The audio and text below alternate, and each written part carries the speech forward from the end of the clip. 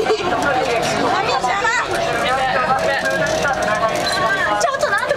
you? How do you feel?